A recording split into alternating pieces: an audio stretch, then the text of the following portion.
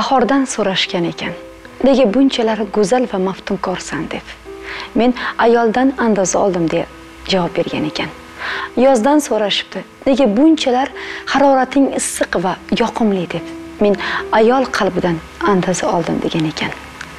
Ayolning qalb go'zalligi ko'zlaridagi nuridan bilsangiz bo'ladi deya assalomu alaykum bu mening onam ko'rsatuvining aziz va mana shunday go'zal ayollari. Sizlar bilan bu mening onam ko'rsatuvida mehr ila diydorlashib turganimizdan juda ham xursandmiz. Aynan bizni ayollarimizning qalb go'zalligi hech qachon ko'z tegmasin deya ko'rsatuvimizni boshlaymiz.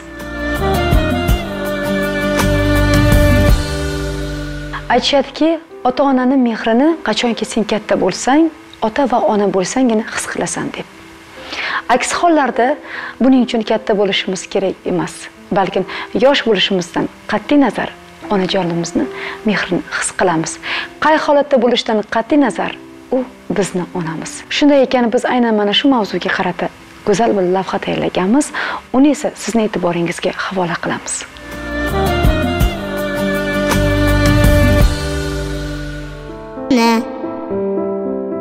Men uchun esa u butun borlig'im.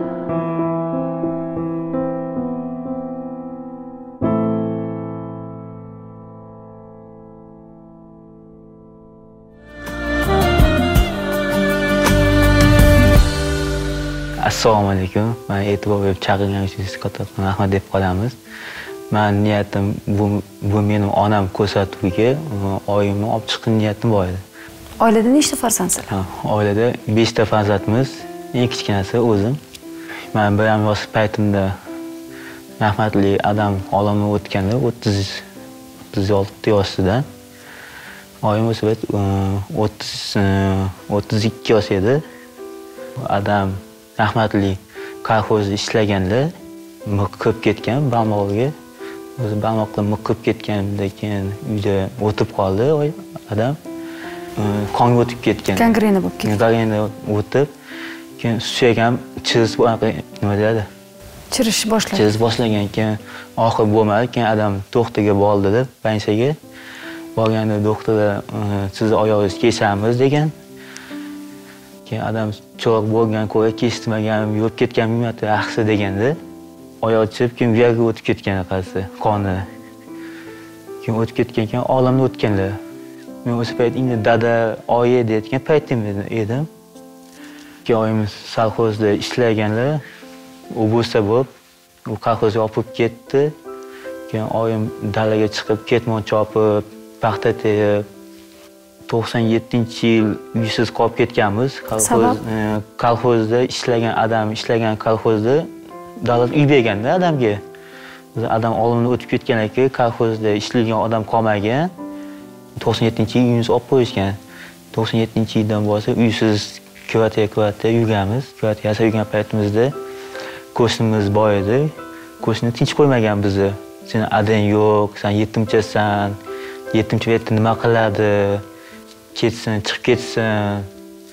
Deb bizni tinch qo'ymagan uyimizda. Mana toshlar oynamizga otib oynamizni sindirib keyin ketganmiz boshqa joyga keyin tog'am uyiga borganmiz. Katta tog'am uyida bitta chekkasi ajratib bergan uyini bu yerda biz yashadik shu yerda oyim ishladi dalaga chiqib ketmon ushlab chopdi sizlarga kim qarayapti?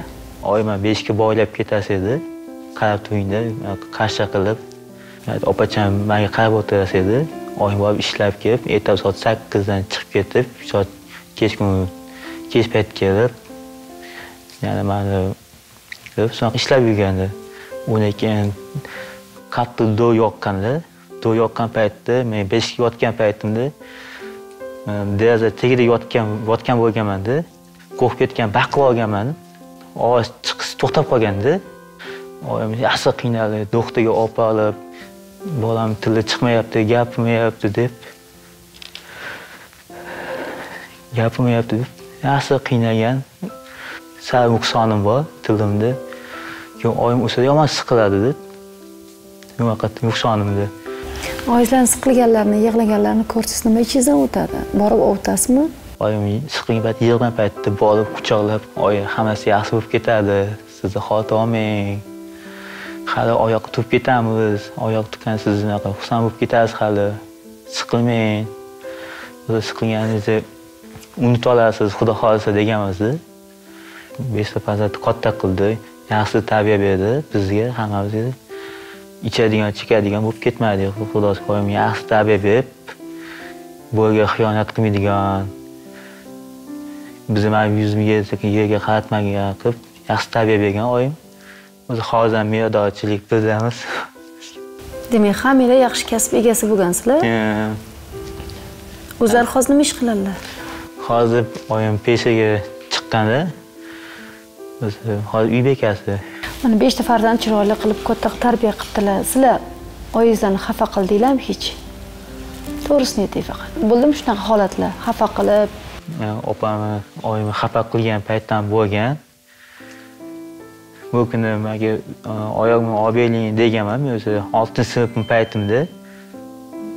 O'rtoqlarim sinfdoshlarim zo'r zo'r kiyim yuvibdi oyoq ustiga yaxshi yaxshi kiyimlar kiyib yuribdi. Nega man dedim o'zi olib berasiz deganman deb chaqirdim oyimni.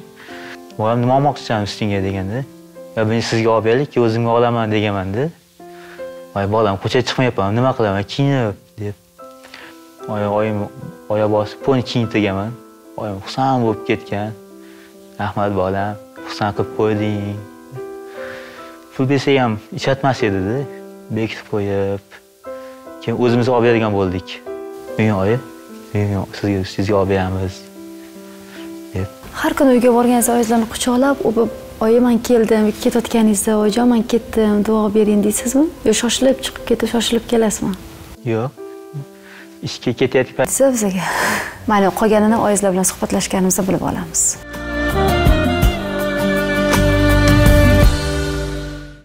Alo sanjar qalaysan o'rtoq bitta iltimos bor edi. Imtihonni javoblari chiqibdi dekanni xonasini oldida shundoq. San bilib e'tibor olasanmi ha zo'r bo'lardi o'rtoq rahmat kattakon yaxshi xabarlar bilan telefon qilgin-da faqat. Ho'p rahmat kattakon o'rtoq. Ho'p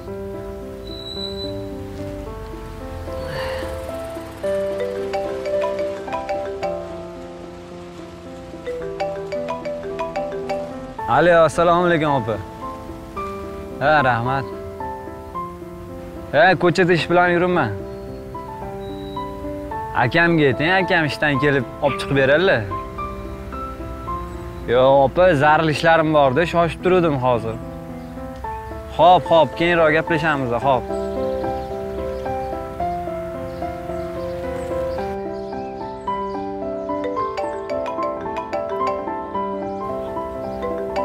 alo O'rta. nima ekan Tur. e rahmat rahmat kattakon o'rtoq lekin rosa katta ish qilding bitta choyxona manda xohlagan choyxona endi rahmat rahmat o'rtoq. Joning sog' bo'lsin. Rahmat kattakon ho'p ho'p gaplashamiz. Bilasanmi san judayam baxtli inson ekansan ha imtihonmi? Shu desangiz og'aynilarim daftarlab yozishdida ikkitalab uchtalab daftar yozishdi man ikki soat tayinlandim shunda topshirdim to'rt baloqni aka o'zi institutga ham shunaqa osonlik bilan kirganman. Og'aynlari repetitorga borgan bir oylab ikki oylab tayinlanishgan o'zi omadli bolamanda. Bittada kirib ketganman. Byudjetga tag'in man buni aytmayapman. Sanga onang telefon qilyapti san bu nimaligini bilasanmi? Bu qanaqa bir hissiyotligini bilasanmi? Koshki manga ham bir marta bo'lsa ham hozir onam telefon qilsalar. Bir daqiqa bo'lsa ham onamni ovozlarini eshitsam. Yana bir marta bo'lsa ham ko'rsam edi. Bilaman endi buni iloji yo'q.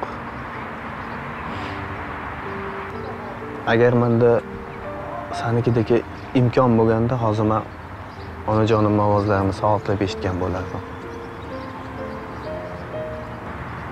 Bilasanmi man his qilayotganlarimni san hozir his qilolmaysan oradan hech qancha vaqt o'tmay onajoningni yo'qotib qo'yishing mumkin.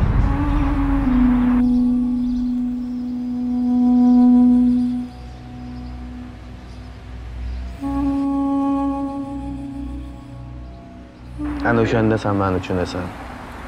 Hozir o'sha suyunayotgan to'r bohoying sani bunchalik baxtli qilolmaydi. Bilasanmi agar mani onam hayot bo'lganlarida ularni raqamlarini nima deb yozgan bo'lardim?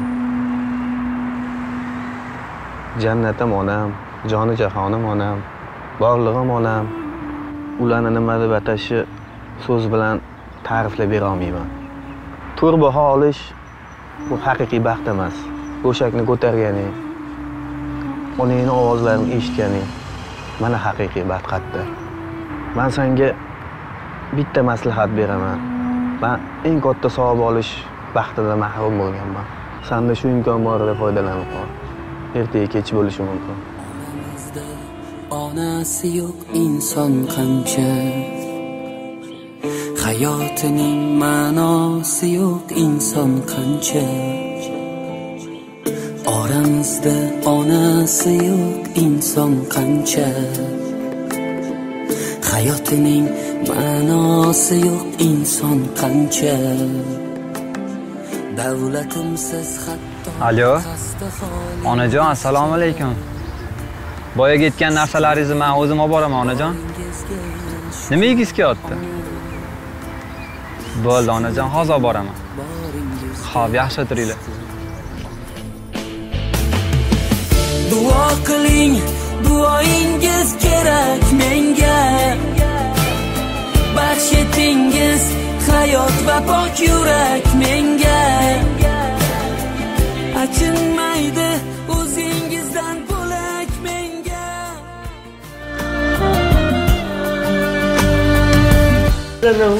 Nasılsınız-ku kızım? Yaxshimisiz? rahmat. Tuzukmisiz sog'lig'ingiz yaxshimi? Bo'ldi qo'llaringiz onajon Qo'lim kesib ketdi-da. Oyna kesib Yomon ketdimi? kesib, yomon bo'lib e- kelgan aksariyati ayrim insonlarimiz borki bir kuni o'tishni bir yil o'tgandek his qilishadi. Aynan mana shunday e, insonlardan biri onajonimiz oldilariga tashrif buyurdik. Bu so'zlarni bejizga aytganimiz yo'q chunki bu inson hayot davomida judayam ko'p qiynalganlar. Keling mana shular haqida bugun siz bilan suhbatlashamiz. Xo'jayin bilan 15 yil yashagan bo'lsam 15 yil ichida 5 ta farzand ko'rdim. Xo'jayinim 97 yil vafot etgan gangrenadan oyoqdan ketgan. Shunaqangi yaxshi inson edi xo'jayinim xudoga shukur man 5 ta farzandim dadasini yo'ldan ketgan mehribon. Eng katta farzandingiz necha yosh bo'lgan kichkinasi necha yosh bo'lgan yolg'iz qolganingizda? Farzandim eng kattasi 14 15 atrofida edi. Kichkinam bir yoshga to'lmagandi. Hali beshikda yotardi chaqaloq edi. Shularni bir ko'zdan katta qildim otam yo'q. Otam yo'qdan biz shunaqa yaxshi yashay olmadik ochiq qoldik yalang'och qoldik demasin deb bolalarimni o'zim katta qilib ulg'aytirdim. El yurtdan kam qilmadim qo'ni qo'shnilardan hammasini yaxshi ovqatini ta'minladim ustini ta'minladim kichkina shu beshikdagi bolamni tashlab ketib belab ketardim ertalab bozorga. Olma ho'l mevalar sotib kech bo'lsa shoshilardim uyga. Shosha pisha o'tganiga sotardim narsalarimni. Yugurib kelib shu bolalarimga sut berardim kichkinamga sut berardim sut berib ketardim. Shularga qarab o'tiringlar deb. Hech kim qaraydigan odam bo'lmagan faqat bolalaringiz yo'q. o'zini o'zi Ha. eplab o'tirgan o'zi iflar bolalarim. Bolalarim shu koptok o'ynashib o'sha qiz bittagina qizim bor. Sakson to'qqizinchi yil ikki akamni ikki ukani o'rtasida. Hali shunaqa aytishadida ona biz deydi. Ukamni yig'lasa aynadan qarab qo'yardik yig'lasa navbatma navbat terbatib sutini berardik. Yolg'iz qolgan ekansiz u payt qiyin bo'lgan ekan sizga biz eshitishimizcha uysiz qolgan ekansiz. Kvartirama kvartira yurib qaysidir xonadonga kvartira olsanglar u yerdan qo'shnilar sizni ketkazib yuborgan ekan. Bo'lgan. Kamsitishlar bo'lgan ekan. Bo'lgan. Qo'shnilarimiz bolalari dadalari kelsa dadam kelyapti deb yugursa men bilan bolalarim qo'shilib yugurardida yugursa itarib yig'lab yig'lab yiqilib tushardi bolalarim. Sen dadang emas sen dadang o'lgan desa shunaqangi yomon bo'lardi shunaqangi xafa bo'lardim. Tunda kunga kunda tunga uxlab katta qilganman bolalarimni. U kunlarni eslasam xo'rliklarim keladi. Ota onam menga deb uy bergan uyda ham o'tirolmaganmiz vaqtida. Kvartirama kvartira ko'p yurganman sarson sargarda bo'lib. Hali pasport olishgamiz ulgurmagan ikki katta bolalarim rossiyaga ketishgan poyezdda. Hali pasport olmasdan bolalaringiz ishlashga ketishgani boqaman deb sizga yordam bo'ladi deb. Ichlaringiz qanaqa bola. qilingandir baribir aytmang aytmang yetib oldim ekan shu hech kim kaltagini yemayaptimikan degan xayollardan uyqum kelmasdi. Necha yil ishlashdi u yerda? Ikki yil ishlab kelishdida ikkinchi o'g'lim u yoqda operatsiya bo'lib qolib boshidan katta o'g'lim keyin olib chiqib kelgan bansadan kelib uyga kelyapsa ishonsangiz pe- peshonasi bog'langan shunaqangi yurak yorilgan nima bo'ldichi nima bo'ldi deb desam keyin hech nima bo'lmadi hech nima bo'lmadi onam deb fitona qilgan. Keyin tushsam operatsiya bo'libdi anaqangi boshidan shamollab qolib. Hayotda qanday tashvishlar sizni yana yig'latdi? Nima? Nimalardan o'ksindingiz kimlardan xafa bo'ldingiz hayot davomida? Hayotda nima desam bo'ladi gapirsam yomonlagan bo'laman qizim. Men hayotda xo'jayim yo'qligidan ko'p siqildim. Shu ota mehrini berolmaganimda o'zim ota bo'lmagan ekan ona mehri boshqacha otaniki boshqacha bo'lar ekan. Lekin hech qachon bolalarim menga rahmat so'zini olib bersa olib ber la'nat so'zini olib bermadi. Shuningizga ming qatla shukur oxirgi paytda xo'jayinim toshkentda yotganda gangrena bo'lganda agunikda yotgan birinchi yotganda oyog'ini kesamiz deganda dod faryod qilib yig'lagan xo'jayinim shunda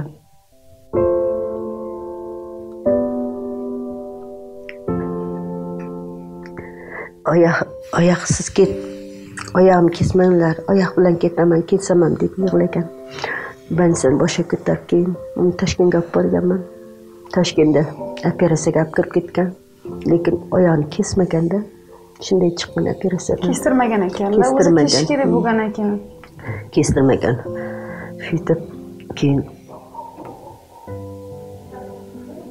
uni bir ikki oy opasi qaradi eskichaga u bir narsaga anaqa qilamiz deb o'sha paytda o'sha tamom bo'lib bo'lgan shekilli aytmaganda menga bildirmagan sen nechta bolangga qarayver men o'zim davolataman degan qarayman o'zim qarab turaman degan shu armondaman xo'jayin o'lgan paytida boshida bo'lolmadim ko'rolmadim dardlasholmadim deb xafa bo'laman deb shu armondaman bir so'zini eshitolmadim xolos rostchilik so'ray olmadim. Oldilarida emasmidingiz? Oldida nimadir demoqchi bo'lgandir bolalar to'g'risida. Shular meni armondaman. Bolalari ham ko'rolmagan ko'rolmagan bolalarni ham. Shu bir besh kun oldin olib borib kelganman ko'rsatib kelganman shu shundan keyin ko- ko'rolmaganmiz. Mana shu nima deyman, armonim shu xo'jayinni so'nggi manzilga o'zim anaqa qilolmaganim uchun bolalaringizga nima deb tushuntirdingiz keyin? Endi kattalari tushungandir yoshlariga. Shu kichkinalarim ikkita kichkinam aytyapmanku. Ular bilmaydi. Bolalar anaqa qilsa sen dadang yo'q sen dadang o'lgan desa yig'lab kelishardi oldimga. Onam nimaga bizni dadamiz yo'q ekanku dadamiz qani? Siz bizni aldaganmisiz dadang osmonni ko'rsatardi yulduzlarni? deb shu aldab katta qilganman. Bolalarimni hayotda ko'p qiyinchiliklar ko'rdim. Turkilashlar bo'lgandir baribir yolg'iz ayolsiz qanaqadir toshlar otilgan sizga? Aytmang tuhmatlar bo'ladi. Bo'ladi bo'lar ekan ulardan qanaqa o'tdingiz? Hammasiga chidab keldim. Chidadim. Birovlar shutmanoq qilsa eshitmaganga ham olib ketdim. Gaplarini ich ichimdan siqilib yig'lardim. Nimaga yeri yo'qdiki shunaqa bo'laman? Otasi yo'qligidan bolalar shunaqa deydimi deb. Ularni hammasiga chidab keldimda nihoyatda. Hammasini yutib keldim. Man shuning uchunmi bilmay hayotda ko'p qiynalganim uchunmi lekin bolalarimdan minnatdorman shunaqa minnatdorman bolalarimga rahmat. Siqilib kecha dardlaringizni kimga aytasiz yolg'iz qolsangiz? Siqilib ketsam ishonsangiz oy dalaga borib yig'lab yig'lab baqirib yig'lab olarman. Shunaqa dod faryod qilib vaqtida yig'lagan kunlarim bo'lgan siqilib alloh bilan gaplashaman. Shu xo'jayin anavisi bilan gaplashaman o'zimcha xuddi oldimda turgandek u bilan dardlashaman. Onajoningizchi onajonim ham xo'jayim o'lmasdan oldin o'lib ketganlar. Onamni otajon bo'lganlarida bunchalik qiynalmasman edim hayotda buncha sarson bo'lmasman edim deb xafa bo'lib yig'layman. Peshonamga yozilgani shu ekan deb taqdirga tan berib mana shu yoshga keldim. Onasi otasi borliqnidir o'ziga ishonchi bo'ladi. Mm, erkalansangiz dardingizni aytsangiz dardingizni Aytmang. baribir ota ona ekan ayniqsa onalarimiz. Onangiz bo- bo'lsa boshqa onam o'rnida onam katta opam onam o'rnida onam bo'ldilar rahmat ko'p menga yaxshiliklar qilgan vaqtida. Dardlashib sirlashib hal shu yoqqa menga yordam qilib keladigan dardlashib ona qiladigan shu opam bo'ladilar. Qaysi bolalaringiz ko'proq sizga mehribon? Qanday desam bo'ladi lekin bolalarim bari yaxshi. Yomon yo'q deyman. baribir qaysi biridir. Eng kichkinam boshqacha. Ha, kichkinangiz o'g'ilmi qizmidi? O'g'il. O'g'il. O'g'il. Uni juda boshqacha. Sal mozam bo'lmasa ham boshqa bo'lsa ham onajonim mehribonim men siz menim onam siz siz menim borligim siz boyligim siz deb yig'laydi. Ana kasal bo'lsamda farzandlaringizga hech ham aytolmagan so'zlaringiz bormi? Shu yerda keling ayting balkim sizni eshitgandan keyin bu yog'iga xafa qilishmas. Ichingizdagi so'zlaringiz bo'lsa onam ayting bilaman xafa qilishganga o'xshayapsiz bolalarim faqat menga yaxshi gapirsa shirin gapirsa bo'ldi. Men men shuni xohlayman bolalarimdan qarang nima uchun biz onamiz xafa qilsa kimgadir aytamiz onam mana bu dedi. Otam menga bunaqa dedi deb xafa bo'lamizku lekin onalarimiz biron marta ko'p suhbat mobaynida ham baribir bolalarim xafa qilib qo'ydi deydi lekin qanaqa qilib xafa qilganini hech qachon aytishmaydi hozir mana ko'rib turibsizlar onajonimizni bolalar xafa qilgan endi baribir bilib bilmasdan bizni ham xafa qilib qo'ygan joylarimiz bor. Lekin shunda ham bekityaptilar aynan o'zingiz guvoh bo'lgandek faqat shirin gapirsin bolalarim menga dedilar boshqa hech narsa kerak emas faqat shirin gapiring. Shu yoshga kelibman shularni deb ardoqlab avaylab keldim. Chiq ustilariga chang tekkizmay qilay keldim. Buyog'i bolalarimni men kaftimda ko'tarib keldim. Bolalarim ham buyog'i meni shu qanday o'stirib qanday ko'ngliga qaragan bo'lsam shunday bo'lishini xohlayman. Xohlaysiz albatta. Shunaqa qilsa deyman shu niyatim shunchalik qilib qo'ydingiz. Yo'lini topdi uyli joyli uylandi ular ham qariydi hech qachon inson yosh bo'lib ketmaydi to'g'rimi Allohim sog' bo'ling endi yaxshi kunlaringiz ham bo'lgandir onajon esda chiqmaydigan bir yaxshi kunlaringiz bormi eslaymizmi? Yaxshi kunlarim nima desam bo'larkan bolalarim mana shu tug'ilgan kunimda guldastalar tortlar ko'tarib keladi. Onajonim tug'ilgan kuningizman deb yoshlik paytlarida uylanmagan paytlarda. Uylangandan keyinchi? Unda ham anaqa qilishadi. O'sha payti birinchi bor ishonsangiz o'shanda kvartirada turganmizda qorong'ida elektrichkadan tushib kelib uyga kirib kelayotganda onajon tug'ilgan kuningizman deb shu birinchi bor o'shanda unday kun men o'g'lim ovozi eshitilyapti deb yugurib chiqsam qo'lida guldasta bilan to'rt bilan ko'tarib kelgan. Shunaqangi xursand bo'lganman shunaqangi xursand bo'lganman xudoga ming qatla shukur bolalarim shu darajaga yetib meni ko'nglim ko'tarib guldastalar ko'tarib keltirib shunaqangi xursand bo'lganman. O'shanda birinchi bor xursand bo'lganim o'shanda edi. Birinchi bor guldasta bilan kelganim. Yo'q hali shunaqa mana kechagida ham tug'ilgan kunlarimda rahmat. Hammasi sovg'a salomlar bilan ko'nglim ko'taradi hammasi. Xudoga shukur bor shunaqa xursandchiliklarim bor. Ko'pincha men dardli kunlaringiz ko'p kunlarim ko'p bo'lgan nihoyatda ko'p ko'p bo'lgan.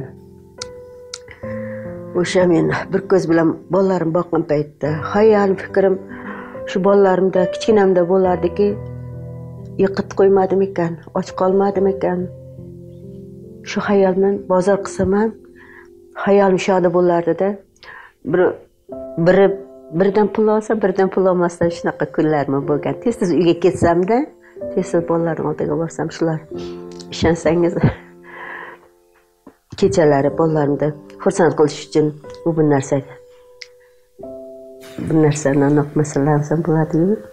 Kallatachalar olib pishirib ertalab pishirib qo'yardimda tunman uxlamasdan shularni tozalab turib pishirib turib go'shtga to'ysin deyardimda shuni pishirib ertalab oldiga qo'yardimda bolalar mana yenglar. Men kelguncha och qolmaysizlar deb turib shuni pishirib oldilariga qo'yib ketardim. Xursandchiliklarim kam bo'lgani yana buyog'iga ish qilib xursandchilik bo'lsin endi. Qaragan chog'ingizni ko'ring buyog'iga qo'lingizga nima bo'ldi?